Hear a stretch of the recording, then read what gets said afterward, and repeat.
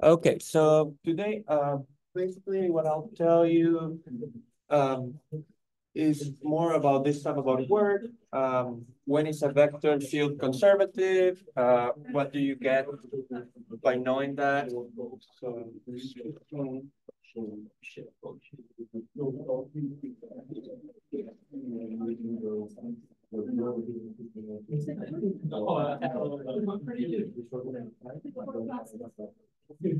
Okay, let's see.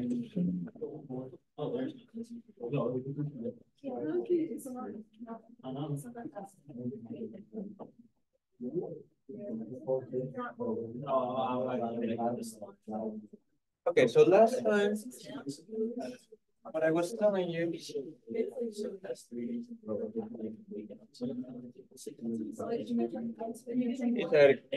If you have a curve.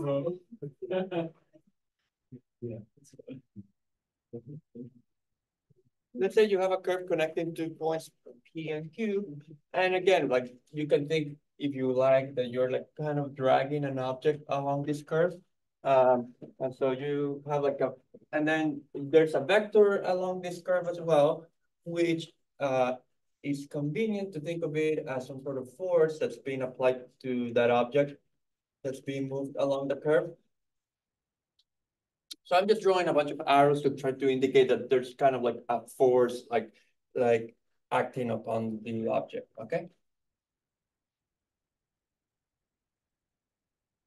The important thing here is just to kind of emphasize uh, it can like it's not like a constant force necessarily. It is allowed to change, so it can change in direction, it can change uh, in magnitude as well. And under those circumstances, uh, the definition of work that I gave you, the work done by F along the curve is just, uh, I mean, like in terms of um, computations, you can compute it as a dot product between the force and the velocity vector of the curve, um, dt. Where here, like maybe you think of this point as being uh, the position at times uh, time zero, and this point as being the position at time one. Um, let's call it TF for final and TI for initial. So this think of it as like uh, the initial position and the final position along the curve. Um, so this would be like an integral from Ti to Tf. Okay, and here V is just the R dt. Okay. Uh, then uh, the idea is that if, you know, if you think about like the curve connecting the points P and Q, and you had chosen a different curve connecting these two points, like it could have been like a straight line or like something more like a spiral thing. Like, you know, there are infinitely many curves actually connecting these two points. Uh, then you could also like, you could compute the work along those different curves. And in general, like what you would find is that the work does depend on the curve that you choose, not just like the initial and final positions, right? Uh, so the concept I ended up with last time was uh, this idea of like a conservative force or conservative vector field that's like uh, it's also called. So let's talk about those. So there are these conservative forces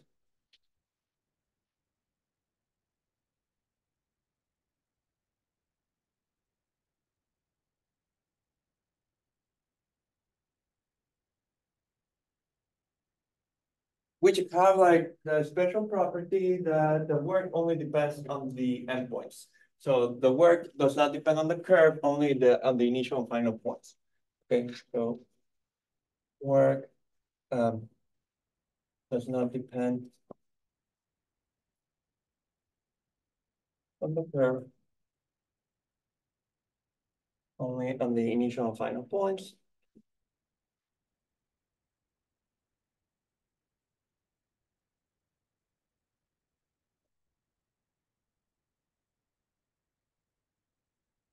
Okay.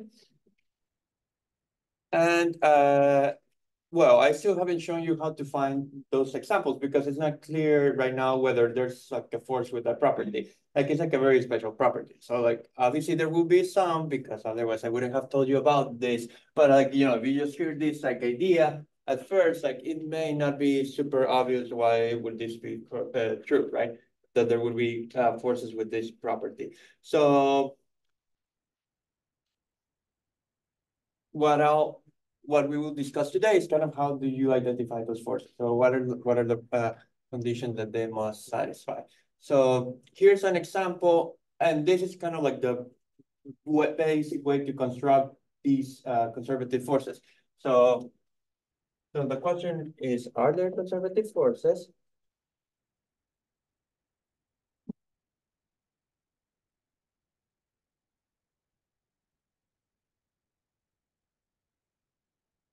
And the uh, here's like a very simple recipe to produce some. Uh, so the answer is yes. Here's one way to do this. Uh, take your favorite function if of three variables. Uh, take a function of three variables.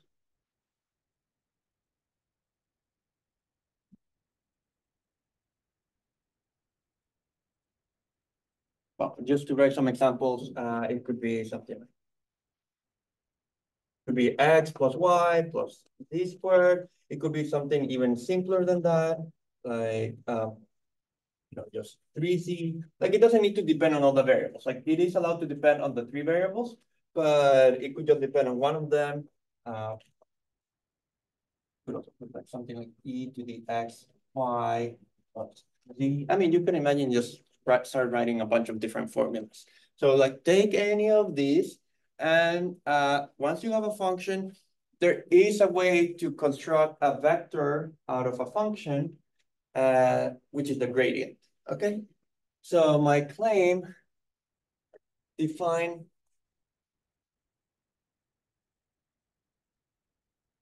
Let's take f, the vector f, the force, to be the gradient of this function. That I'm going to claim that that is going to be a conservative force. So this will be a conservative force.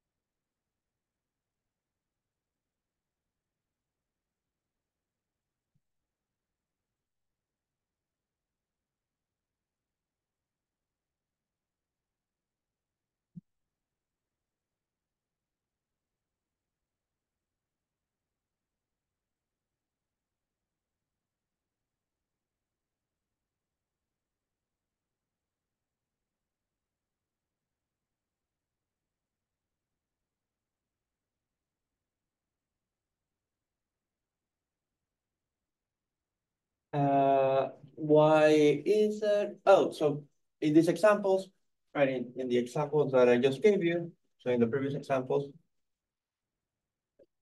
before like explaining why this works. What is the first gradient? The first gradient is uh, one, one, two, z. What is the second gradient? The second gradient is zero, zero, three. What is the third gradient? Okay, that one is a little bit more annoying. Equal this. Okay. Those are the like those are the corresponding gradients for those uh, three functions that I wrote there. Let me put some arrows here.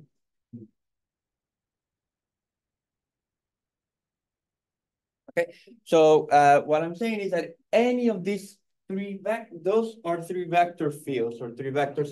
Any of these three have the property that the work done by these vectors, by these forces, only depends on the initial and final positions of the curve, not on the actual curve that you choose. Which like, if you just like, if you can just start with these vectors, you know, it is not super clear right now, how would you determine that, right? Like you just look at them and they don't necessarily have many things in common, right? Like, so uh, what we have to kind of like discuss today is like, what is the thing that they all have in common that would allow you to say that?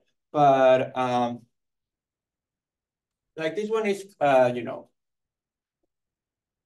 um, this one is closer to like the constant gravitational potential field, like because it's just like a vector that's like uh, constant uh, in the z direction. But like the other like this first one and the third one, like maybe very like, I mean, there's there's nothing like special about them in the sense that they don't even have like a particular uh, name. So why, let me explain to you why is this going to be a conservative force? So, I mean, why, a, right, why is it going to be a conservative force in the sense of the work only depending on the initial or final positions? Okay, so the idea of being conservative is that the work uh, should only depend on the, on the endpoints of the curve So let's try to do it for this one. Like, let's suppose you have this, this curve, you have the endpoints P and Q. So in general,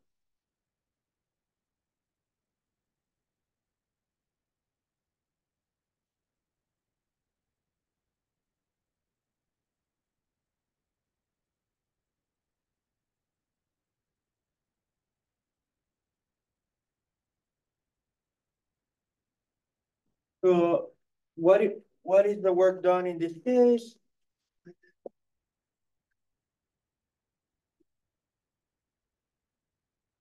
So again, the work is always the dot product between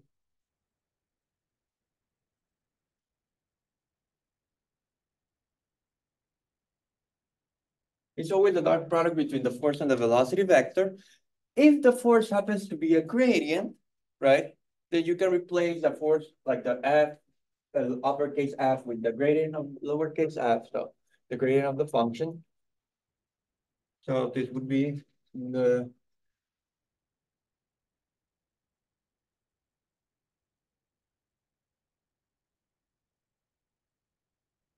Okay, so you are integrating the dot product between uh, the gradient and the vector v where have we seen the dot product between the gradient and a vector? It's like a bit formulas. It, it is, it was in the directional derivative uh, right? Like in the, if you remember like the directional derivative uh, uh, of a function along a vector was the dot product between the gradient and the direction, right? Um, so it is worth like thinking about that for a second what's going on here. And it's actually, at least in your case, it's related to one of these midterm problems, like on the exam that, uh, which I did it for the temperature. If you remember, I think it was problem three or, uh, or something like that. But what's happening is like the function depends on x, y, and z, right? Um, but then uh, because you're moving along a curve, right? X, Y, and Z depend on T. It's the same with the temperature when I wrote the diagram, if you remember the exam problem. So, so like you can secretly think of F as depending on T and by the chain rule, uh, the, the derivative of F with respect to T is this thing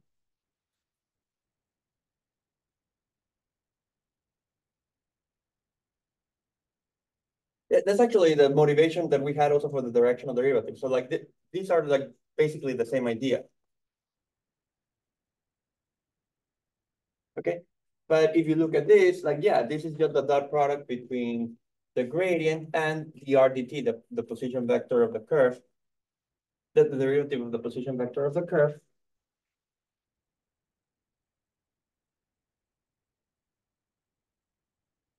So um, this is just the, the product between the gradient and the velocity vector. So what that means is that here, actually, you can replace this with the derivative of f with respect to t.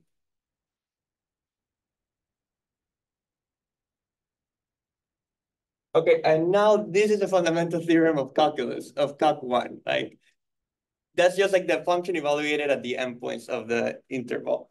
So it's just f of ef minus f of ei. What does this mean? Like means like the function at time tf, which is like f of q, like, you know, like the function at this time is just like the final point minus the function at the initial time, which is like f of p. Well, but that just only depends on the endpoints, right? Like, so what this is saying is that the work is just the difference in the value of this function at the endpoints, which by the way, uh, this uh, disagrees from the physics convention by an overall sign, so I'll explain that in a second. Um, So what we're go- going to call this the potential function for F. It's just that our potential function for like a very silly reason that the mathematics and physics textbooks don't agree. Despite having the pub, same publishers, like should like E minus the potential fun, potential of the physicist. Um, um, so, but what this is saying, what we just found. Like this is great, like this only depends on Q and P, like the, like the integral disappeared, right? Like. And thanks to the fundamental theorem of calculus, so what this is saying is that when this happens, like, let me just rewrite it, so. So. If. F is the gradient. Of a function, then the work done by F.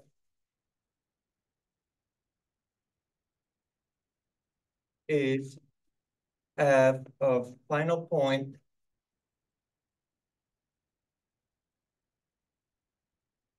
Minus F of initial. point.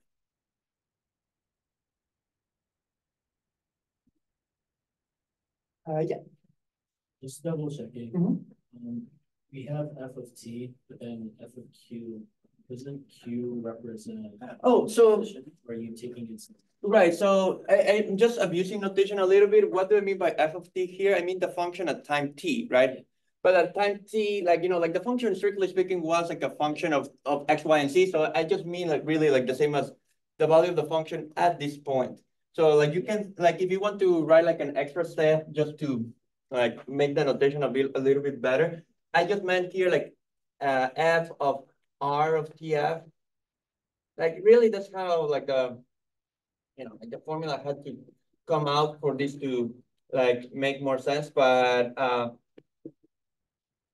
But yeah, like the thing is like along the parameterization, you know, like along the parameterization, like Oh. f becomes a function of time, like secretly, but so it just really means like. That's it, like in practice, there's no ambiguity, like once you do like a concrete example, Yeah. uh, it's just um.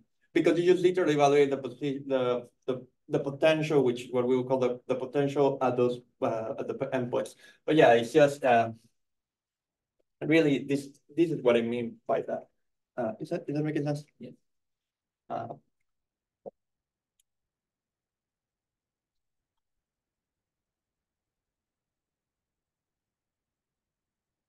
So this gives you like a great recipe of producing conservative forces. You start with your favorite function, take its gradient, and that's conservative. That's like, and that gives you tons of like examples, right? Um.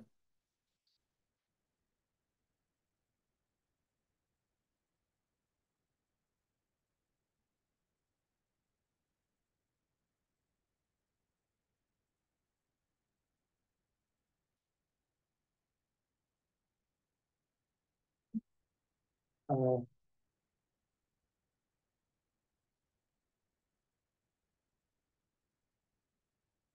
So just to give you some, um, like some like actual, uh, cases that, you know, you would have seen before, like if you have taken like a physics class, here are some examples, like if you take f of x, you'll see that there's like a, a like an opposite sign from the things that you're used to, uh, seeing like in physics, so if you take something like this, k, uh, constant.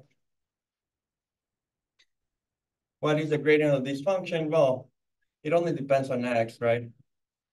Um, then it gives you minus kx zero, zero, right? And that's like the spring force, like in law, right? So, uh. and just like usually, again, like in physics, like you would have this as plus one half of kx squared. So that's what I'm saying that our f differs by a sign from like how the physicists would write it. So I'll explain that in a second.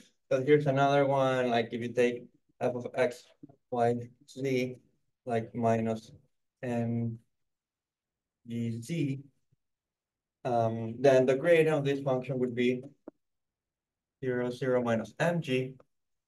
Right, which is like just like, you know, like the regular gravitational force, like like when you drop something like constant height. Again, like it's not like there's a minus sign that you probably don't recognize because again, like what we're calling F is what the physicists would call minus the potential. So like there's like it's like uh um ambiguity there. And uh, and one that's a little bit more tricky is like something like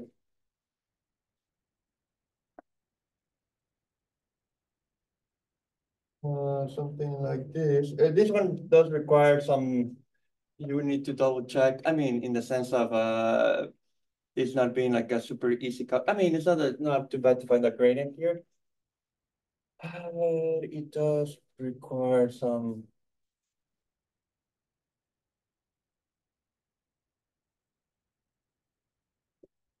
So If you take something like that, uh. Like, yeah, like the gradient of this.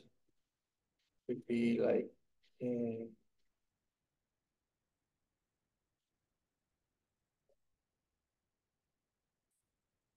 So this is like to the minus one half. uh,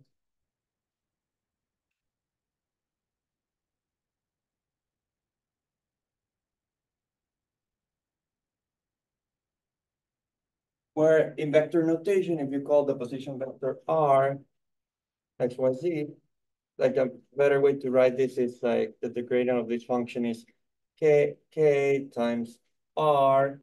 Over the norm of R. So this like is like an inverse square law because this vector has unit length. And so this is kind of like, it depending depending on how you call it K, that would be like the Coulomb law or the gravitational law.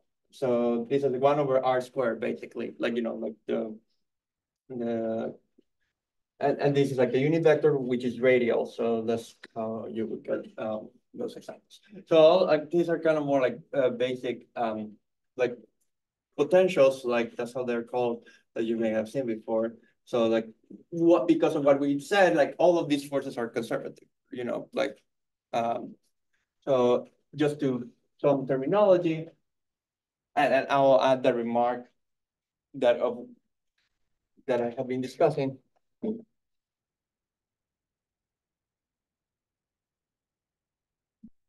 We call f a potential function for big F.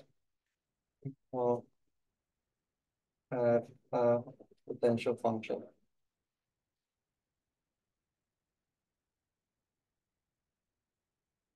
For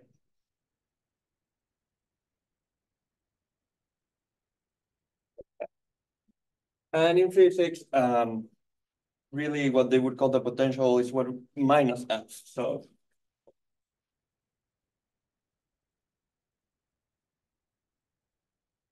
The Their potential function is.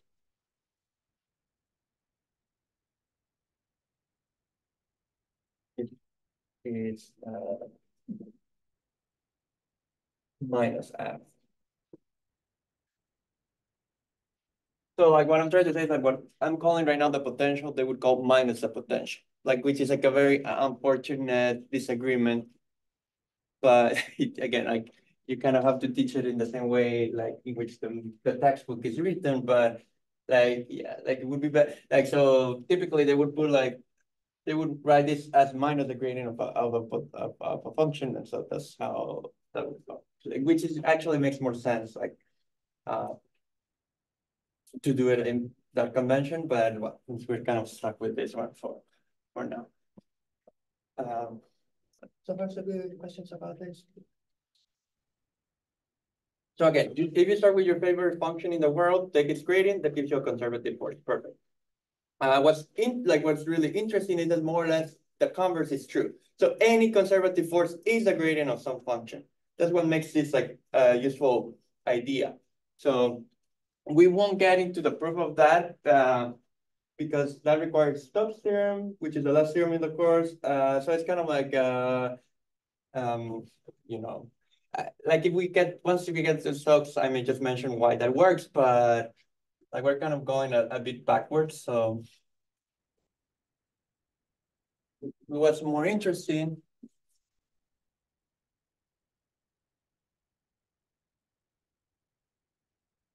So like the important fact is that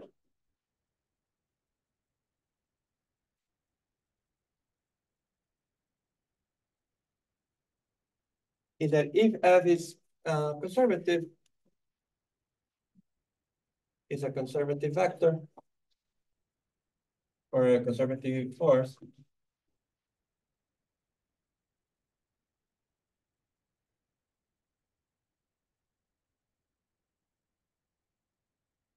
uh, then one can find a potential function for f. Then one, then you, you say like it admits a potential function, so, or, but I'll just say one can find a function.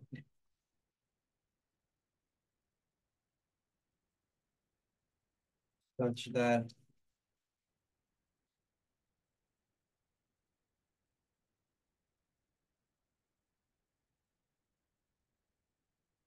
So that, like, so in terms of what is conservative, a conservative force, that is all there is, like, they are really just like the gradients of functions, like, um,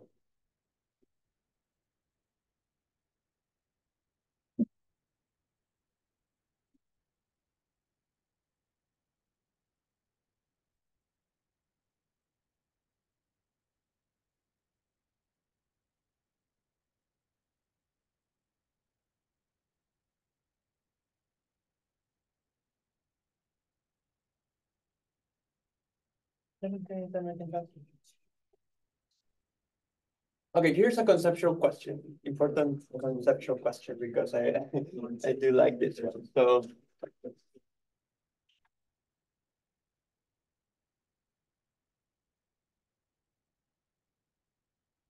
If you had a function of three variables and you set it equal to a constant, right? This is like one of the most important ideas also. So what happens, what, again, second example. What occurs when you set a function of three variables equal to a constant? What did we call that? A level, small level surface, like it would be level curve if just two variables. So. Perfect, so. Let's just, let me try to draw like some sort of like weird surface here. So let's say this is like f equals constant. So this is like a level surface, right? So, uh, what was a vector perpendicular to a level surface? The gradient of the function, right? So a normal vector is the gradient of the function. But if, like in this context, you know, that would correspond to that force, right? Because the force is like we're taking the force to be the gradient of the function. So that means that the force is perpendicular or orthogonal to the level surfaces, uh, which are called equipotential surfaces, like in the, the potential terminology. So this, instead of calling this a level surface, you call this like an equipotential surface.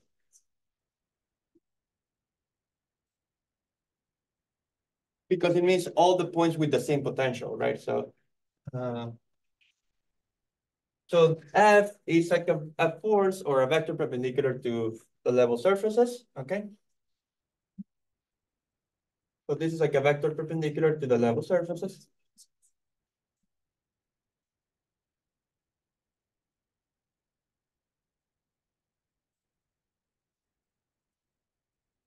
And here's another cool fact. What happens if you take, let's say that you take a point P and a point Q on the same level surface or the, on, the, on the same equipotential surface. Okay, so P and Q are uh, belongs to the same level surface. Let me just write it here on the same level surface.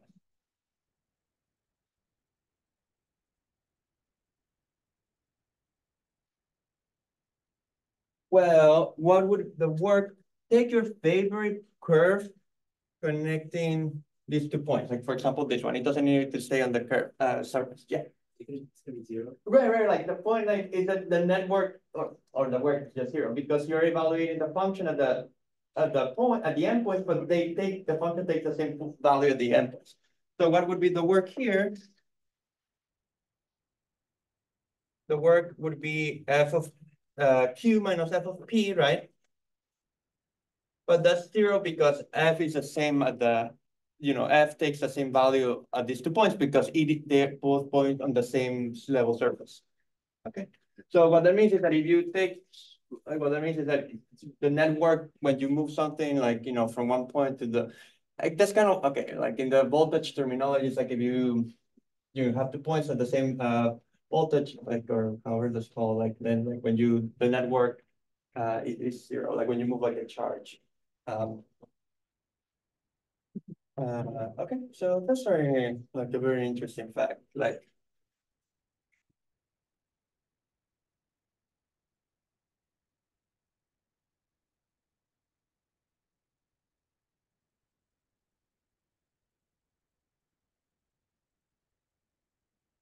Okay. Did, did that make sense? Like, is that clear? So, and like, yeah, and more generally, what's the work done from taking a point from one level surface to another level surface? It's just like the difference in the values of those level surfaces, like that. Uh, you know.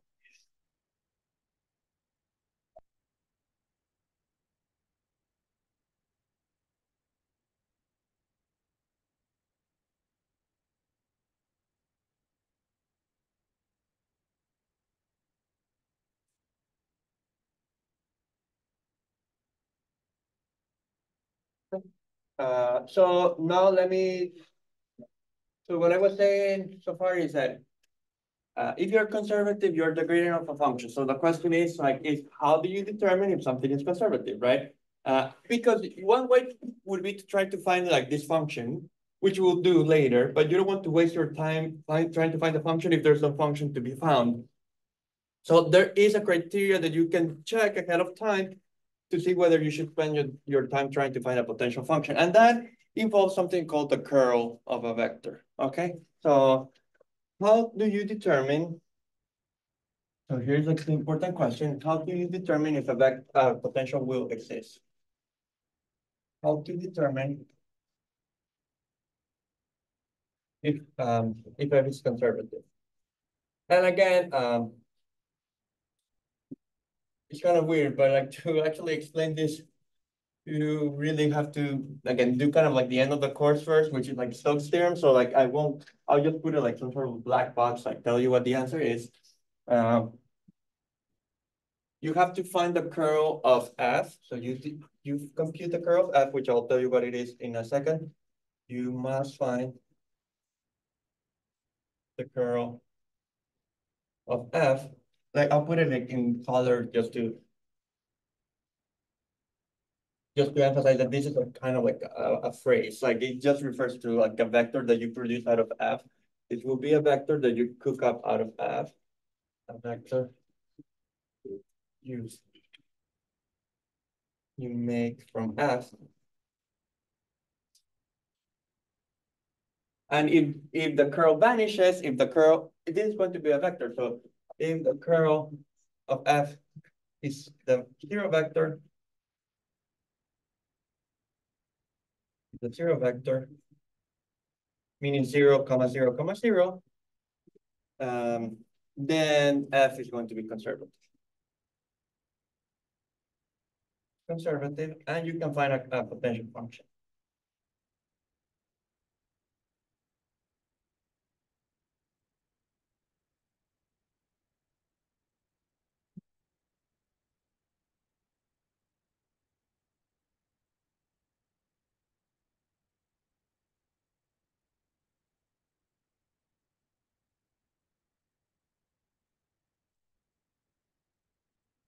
So what is this thing called the curl? Uh, and again, I kind of will leave the formula not with a, I won't try to give like a big explanation for now of what this formula is. Um,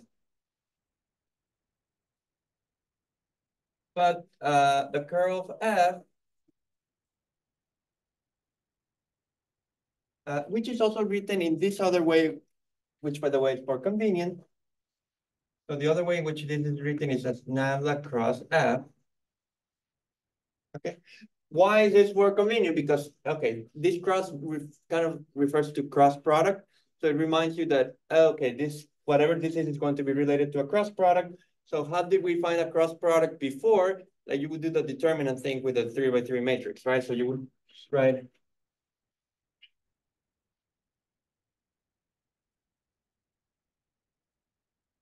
Okay. And then uh, you just then have to think of what could you should put here. So F, like if you remember, uh, the rows here would go, would be the entries of the vectors, right? So F is a, is a force, right? It's a vector, so F just has like three entries. So let's just call like the entries of F, um, F1, F2, F3, so.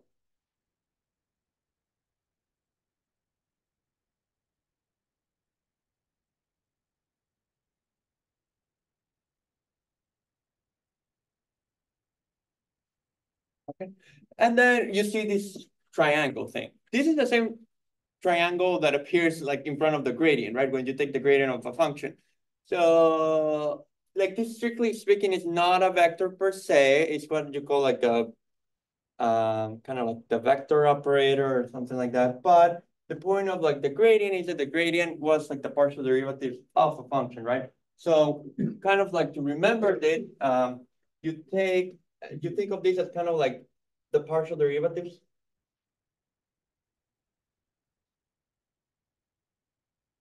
but of nothing in particular, just kind of like the partial derivatives almost like floating in space on their own. Like, you know, they don't have, they're not attached to anything per se. Uh, and so this looks a bit weird, but uh, like I'll compute something for you like right now, which will kind of clarify what this formula means. Like, so like this formula will be given to you on the exam as well, but you'll see it is less um, confusing than what it seems. So let me just like do it let me explain uh, what this is, like with some examples, because that's a little bit more easy to understand now.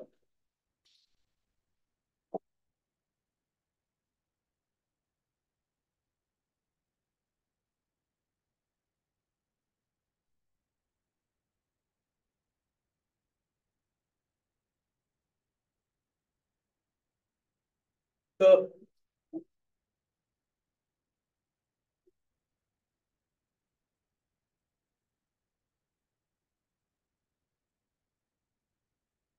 let me do two examples um, of, of what this means, because maybe not too clear.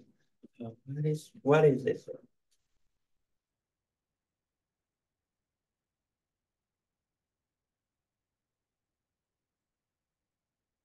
So let's take, for example, F to be, um, let's start with something easy. So I'll take F to be negative yi plus xj plus ck. So this would be the vector negative y comma x comma z. Okay? So that is a vector, that is a force. You can think of it as a force. Uh, so I want to know whether um, this uh, has a curl, right? What is, or I want to find the curl of this thing. So what do I, what do I mean by the curl of this?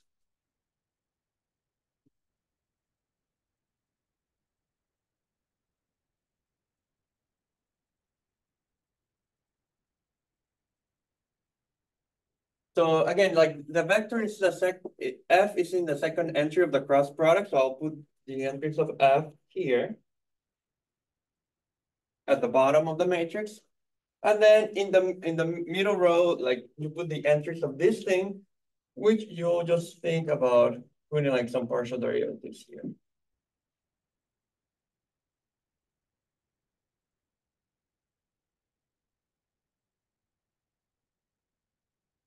So again, like this looks this looks a bit weird, but you'll see in a moment that it's not as bad as it seems.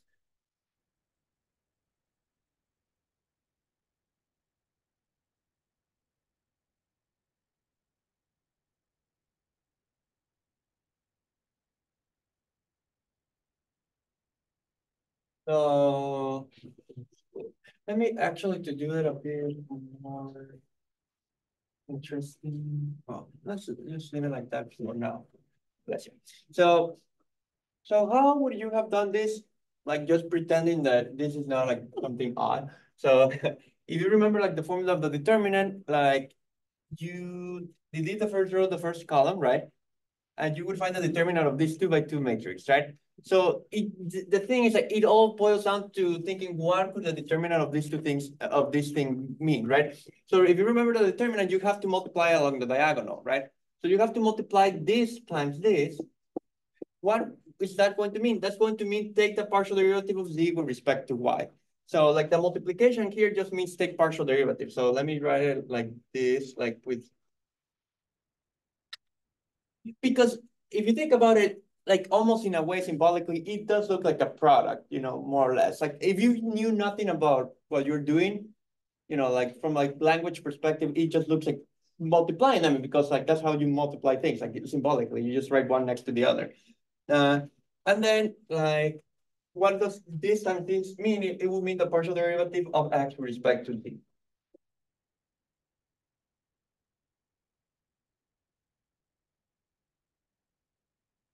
And that was multiplied by the vector i, right? If you remember like how the determinant goes. Is that making sense, kind of? So when I mean multiplication in this context, I just mean take the corresponding partial derivative. That's how you should read this formula.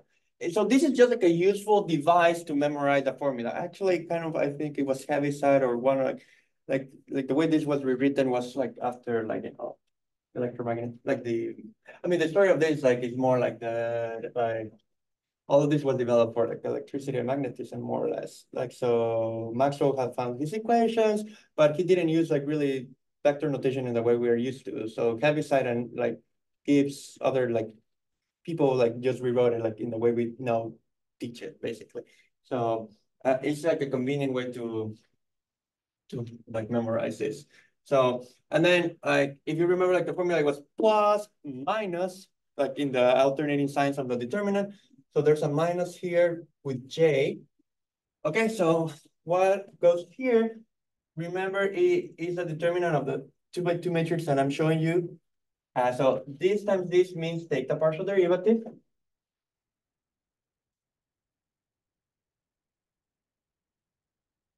Minus this times this, which means again, take the partial derivative. Okay. And then it's plus minus plus. So the last thing we'll have K.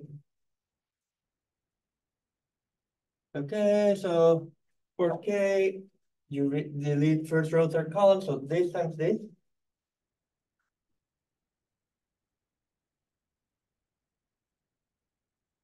Minus this times this, which again, always like in our context means take the corresponding partial derivative. So once like you understand that part, like computing this is just computing a bunch of partial derivatives, basically. Is that making sense, kind of? So far, so good. Uh, okay, so that like um, again, that's kind of like the hard part uh, here. So what what what are these partial derivatives? The derivative of z with respect to y is zero because you're treating z as a constant with respect to y. Uh, same here. So this one also gives you zero and zero, or plus minus minus would have been plus zero. Obviously, that doesn't make a difference. But now this one you do get something more interesting because it's like one, right? The derivative of x with respect to itself is one, and then this one gives you negative one, but there's a minus here, so it becomes plus one, right? So you get zero i, zero j, and two k. So like you just get the vector two k, which is uh, the same as zero, zero, two. So what I'm saying is that the curl, like what I'm saying is that the curl of this vector f is the vector zero, zero, two. Is that making sense? And is this a zero vector? No, it's not the zero vector, right? Like it doesn't vanish identically. The first two entries did vanish, right? But not all of them. So for it to be conservative, we need all the entries to vanish. So since this is not zero, zero, zero, which is not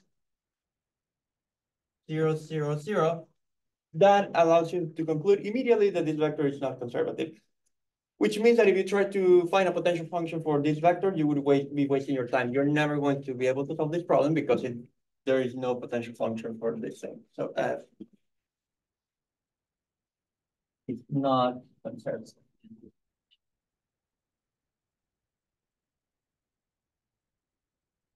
Does that make sense? So far, so. How are we doing up to now? So if we were gonna find the potential function, we have to check that it's conservative. Uh, so-. Uh, so it depends, like, so sometimes like, uh. Like there are problems that immediately will tell you this vector is conservative, just find a potential function. So that does occur. There are other times where like they just give you like a random vector field. But they ask you to find a work through a curve that is insanely complicated. You know, like something completely crazy, and then you don't want to parameterize the curve, so like if the function, if the vector happened to be uh, conservative, then you would just evaluate the potential, and then you would be done. So like, it's kind of like indirectly like telling you, oh, try to check if this is conservative or not.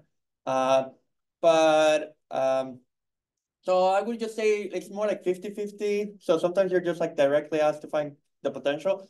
But yeah, you could have like a part, first part that says why is this conservative, you know, if, uh, so. But it's more, uh, this part is kind of more like for philosophical understanding that, okay, this is actually in the real world how you would proceed, right? Like you, you just want to check first if something's conservative or not, Do not waste your time trying to find the potential, right? Uh, uh, but let me show you a little bit like of how, of how the vectors, why is this called the curl? Like this is also like useful, uh, something useful to understand. Uh, so before moving on, and then I'll do an example which is conservative, and I'll show you how to find the potential because that's something we do that want to learn. So, but before doing that.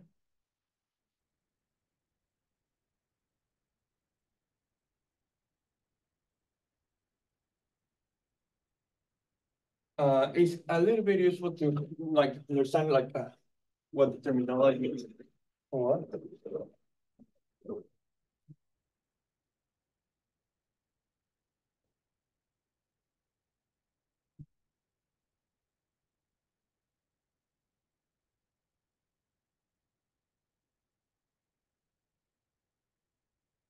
Okay, so here I can, um, can enter on GeoGebra a vector field, um, whose entries are called P, Q, and R. So, uh, P was the first entry of this vector, which was negative Y.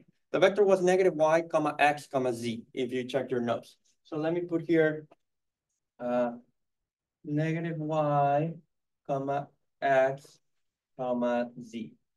Okay? So that is how the vector field looks like. Uh, and if you think about it, there's some sort of rotation or spinning, spin happening, right? Uh, is that, is that more or less uh, obvious? Like, I don't know, like, I mean, like you can look at it at certain regions where it's more clear than others. So for example, um, if you like, the way to think about this is like, um, like kind of like fluid dynamics. So think about this as giving you like the wind, the speed of the, the velocity of the wind in space. Or, or if you just look, or uh, you are like in the ocean, and so you like you're you have some water currents on the ocean, and this is like these vectors are giving you the directions of of those water currents, right? So the idea is like if you put like um, you know, like if you place like a submarine on a or an airplane somewhere in here, and it's just being moved entirely through the action of this air, like of these uh, velocity vectors, or these water currents or like air currents, then like the ship is going to try to spin or rotate. So like the idea is like the reason why there this is called curl is because it's actually related to some sort of like angular momentum. Of, if you were to place like a small object somewhere in the in inside this aquarium, then like it would try to kind of spin. Like so, uh, conservative vector field is one where like more or less there's no rotation associated to the vector. Okay, so uh, so that's kind of like good point. Uh, it's a little bit easier if you make, uh, it's a little bit more clear if you make the last entry zero because uh, then it kind of just looks homogeneous along the z direction. And then it's easier to see like there's some spin there. But like, but yeah, this is like, uh, so curl is kind of like related to the fact that, um, you know, there is there's some spin or rotation that there. Okay.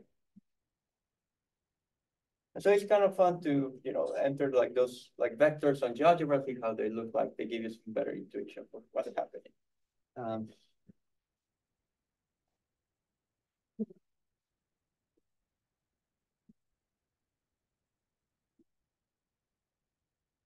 So the idea like something like with a, like something like a like like gravitational field, like kind of like the one of the Earth, like which is like a inverse square law, those are radio fields, right?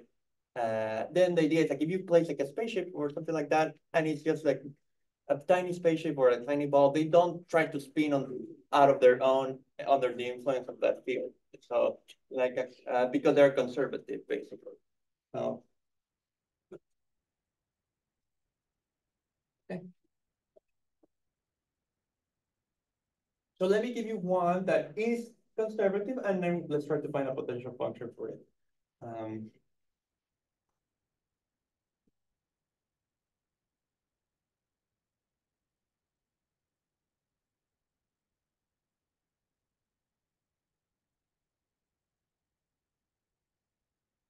Okay, so I like this example.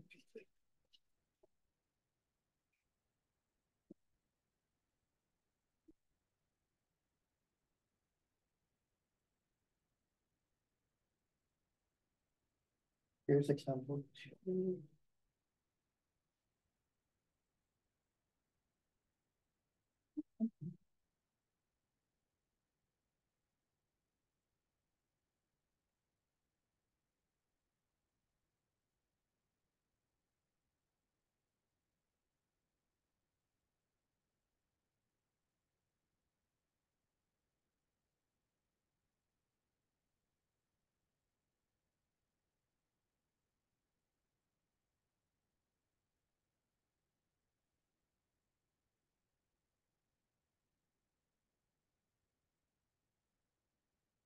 Okay, let's say that F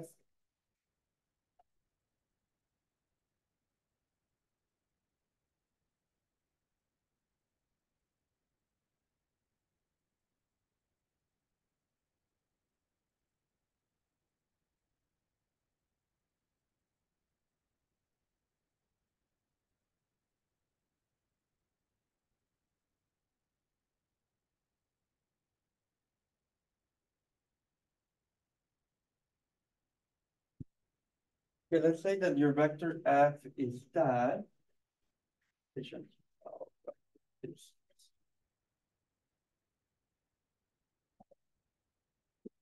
Now let's try to find the curl of this vector.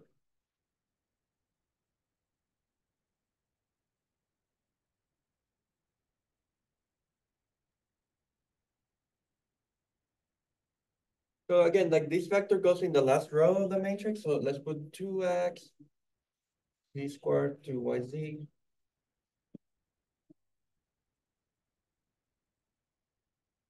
partial x, partial y, partial c. And again, you kind of do the determinant thing. So it's partial with respect to y of this thing.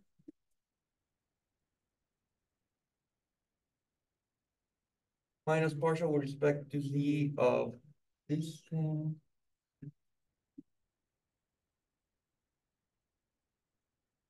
Then minus j, right? So partial with respect two x of to yz uh, minus partial with respect to z of two x plus uh, the last thing has k on it. Um, okay, and so it's partial with respect to x of c squared minus partial with respect to y of 2x.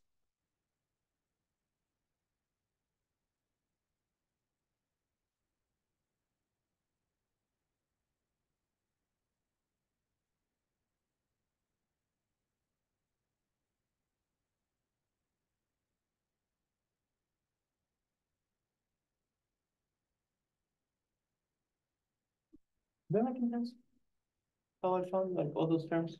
Um, so if you do that, what do you get? What is the partial with respect to y of this term? Is two z. What is the partial with respect to z of z squared? Is two z. So you get two z minus two z. And then this one gives you zero minus zero. Perfect. And then this one gives you zero minus zero. So only like, you know, only the first one was kind of interesting. Because like they, there is a cancellation. All the other terms were kind of zero automatically, and then this gives you zero comma zero. You need all, every single entry to be exactly zero, like on the nose, like there's nothing else that you have to do to make it zero, like has to man- manage automatically. So you cannot get anything here besides zero in every single entry. So since this vanishes uh completely, like F is conservative, so.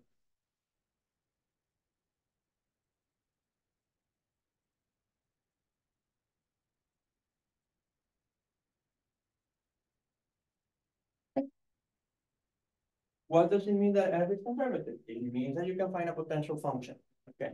So there is a potential function for F, so we can find. Function F.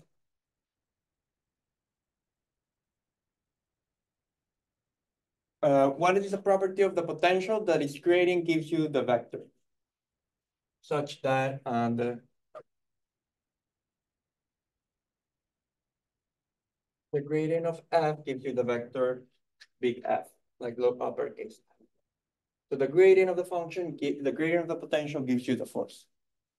Okay.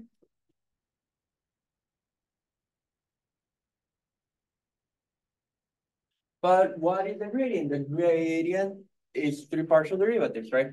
The gradient is partial derivative of f with respect to x, partial derivative of f with respect to y, partial derivative of f with respect to c. So that must be equal to the force f, right? So you get an equation per entry, right? Um, so you get what? You get a system of equations, which is that the derivative of f with respect to x must be the first entry of the force, uh, which is two x.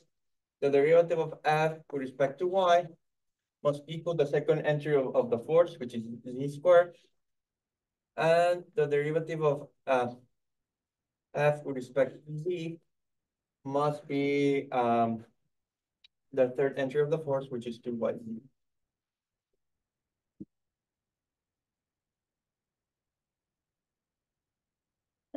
Is that making sense? so far, so good?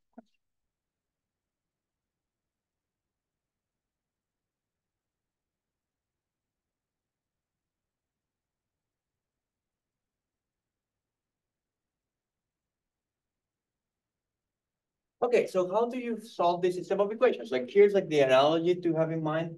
How? Here's like an analogy. How? How would you have solved something like this?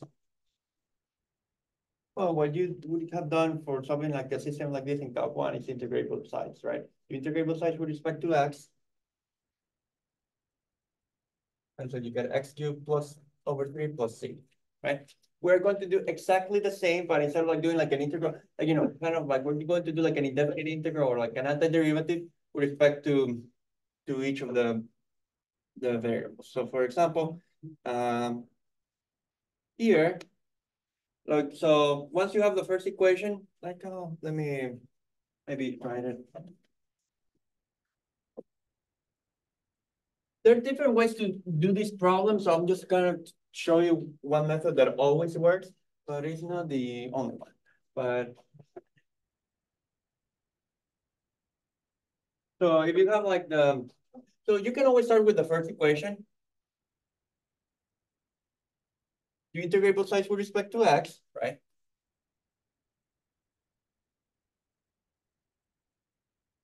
And you get x squared, right? Plus a constant of integration. But here's where the, there's, this is like the only place where it is a bit tricky. So you want to put like a constant of integration, right? But uh, if you think about it, we are secretly doing like some sort of like indefinite, like a partial indefinite integral, like an indefinite, like a partial antiderivative, because we have to um, remember uh, that this thing is allowed to depend on x, y, and z, right? So really this constant, uh, maybe it's, in fact, let me start with the, maybe let's, let me start with the third equation because it's a little bit more clear what I'm trying to say there. Like, let's take the, the third equation just to make it more obvious of what's going to happen. So now I would have to integrate this with respect to, to z, but this is kind of like a partial antiderivative, similar to the ones we were finding with double or triple integrals. So you're you're really pretending that y is like a constant in this context. Like this is better because there are two variables involved. So this is like y squared, sorry, y z squared, right? This has a um plus a constant. Right? But uh, when you took the constant, you had to treat y as a, as a, no, what is this constant of integration? When you did this, you pretended y was a constant. And if there had been an x, you would also have pretended that x was constant. So really, this thing is allowed to depend on x and y. Is that making sense? Because it still has a property that is anything of this form still has the property that is partial derivative with respect two z gives you to yz because this has no z dependent. So this would just give you zero. So uh, when you're trying to find the potential here, what you have to keep in mind is that um, the constant of integration is really a function of the remaining variables. So that's like the, the thing to keep an eye on. So like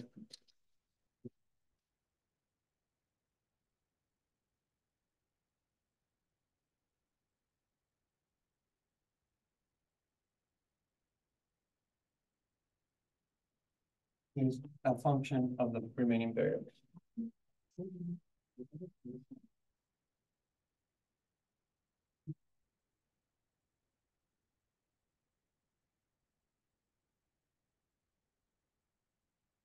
That making sense?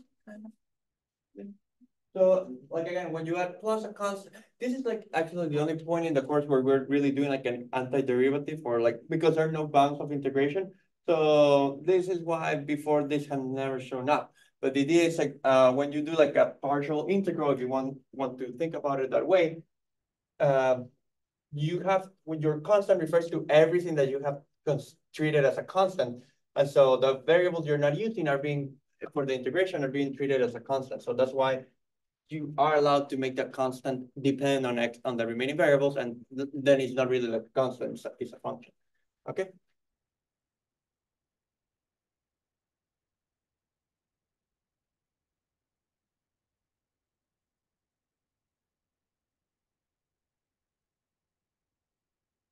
So what that tells you is that the function f has to be yz squared plus something else.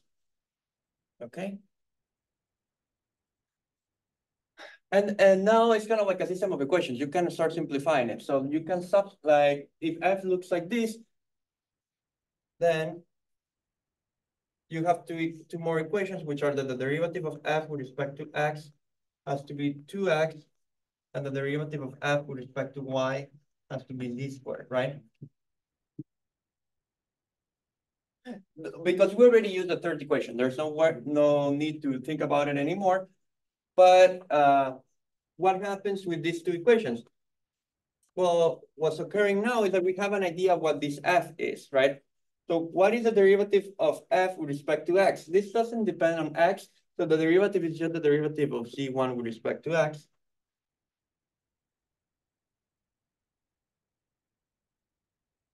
And what is the derivative of f with respect to y? f looks now like this. So the derivative of f with respect to y is like um z squared plus the derivative of c1.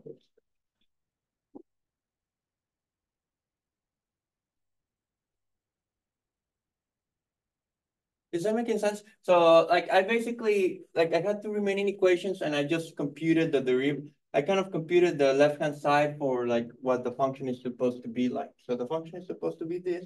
So I just computed those derivatives for this expression of the function.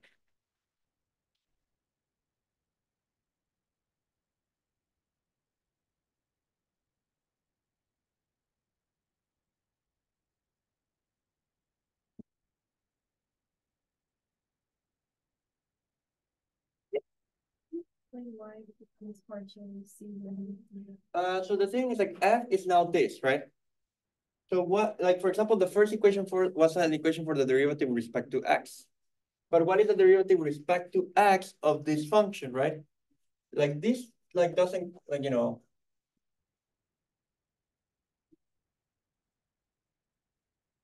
Right, there's no, like, this has no partial derivative with respect to x, or like if you want, you can write it as the sum.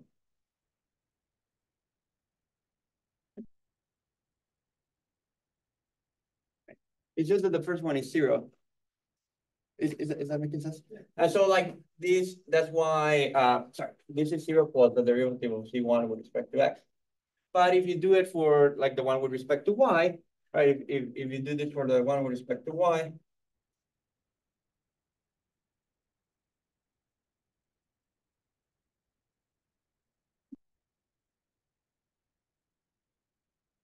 Then, then there is something here, right, like, which is Z squared.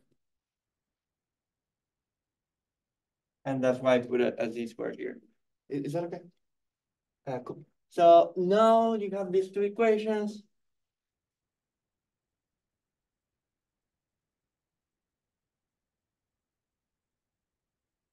Now you have those two equations, and then like again, to solve for them, you can start which with whichever you prefer. Like, so let's just take the first one because it looks like more interesting. So now, now let's take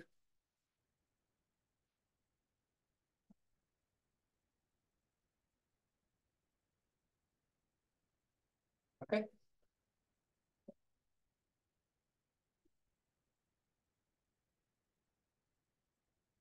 Well, integrating both sides with respect to x, what do you find? You find that C1 is the integral of 2x dx. So that's x squared plus C2. Okay, but again, this constant of integration is not a constant in the usual sense of the word. It's just like a constant in the sense like every every variable that you treated as a constant can go here, right? So for example, uh, when we did this, right? Like if there had been a y, we we would have treated that as a constant, so you would put that. And if there had been a c, you would also have treated as a constant, so you put that. The difference is that now you already know that C1 only depends on X and Y, right? So there's really no need to put the Z dependence, like that already got was taken care of at the beginning. So essentially, well, you just say, well, you can just say that this is like a function of Y exclusively because, um, like maybe just to emphasize this, this function was supposed to depend only on two variables. So only one var only the remaining variable, which is Y, could have been treated as a constant. So that's why that's like the constant now depends on Y. So the idea is that, you know, uh, the way this works is that every single time the, the before we started with something that could depend on two variables, and now we have something that can only depend on one variable, and then the last step, there won't be any more dependence, and there will be like a genuine constant.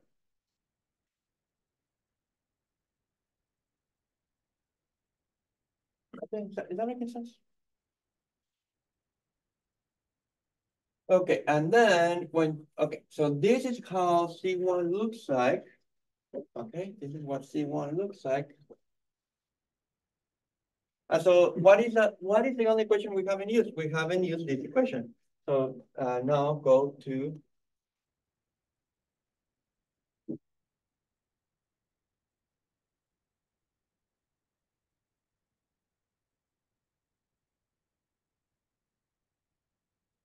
Well, the z squares cancel, so you get that the derivative of C1 with respect to Y has to be zero. But what is the derivative of C1 with respect to Y? This doesn't contribute anything, so you just get that the derivative of C2 with respect to Y is zero.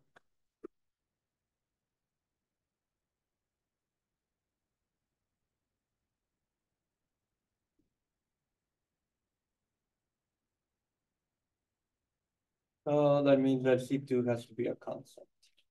Because like it's a function of one variable and the derivative is always zero. So C2 Y is constant.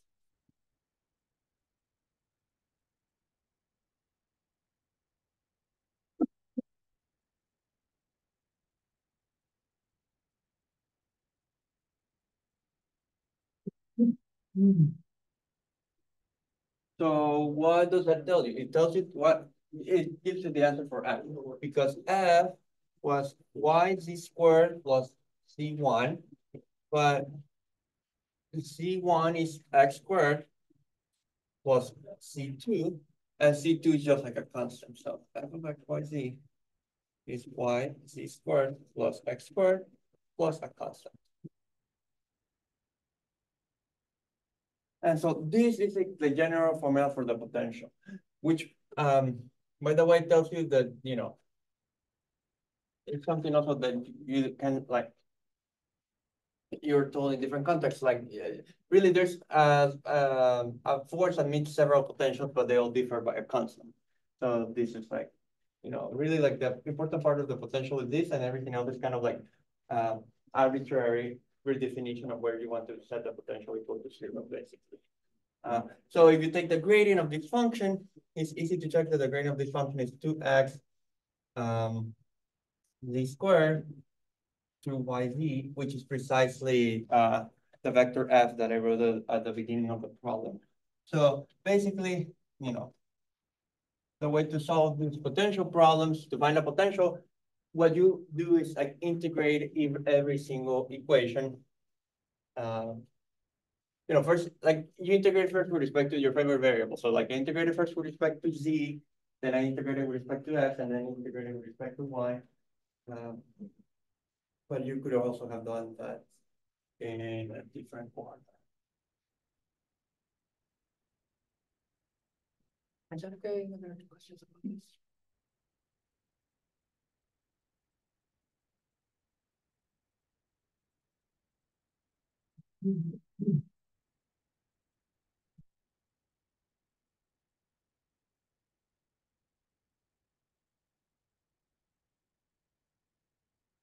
Okay, so that is what I needed to tell you about the potential. So what I'll do next time is tell you Green's theorem. Green's theorem tells you what happens in non- non-conservative case. So in the non-conservative case, when there's a, when the curve is closed, the work is not necessarily zero, and in fact, um, if the curve happens to be on the xy plane, it is a double integral of something. The sum, that something will actually end up being the third component of the curve, but I'll tell you that uh, next slide. So let's just finish here for now, and next uh, Monday I'll tell you about that. Oh.